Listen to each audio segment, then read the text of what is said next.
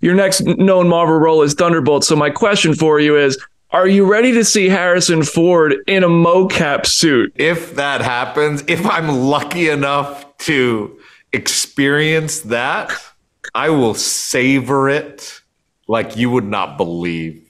I mean, can you imagine how angry that guy would be in a green suit with ping pong balls all over it, just standing there? Uh,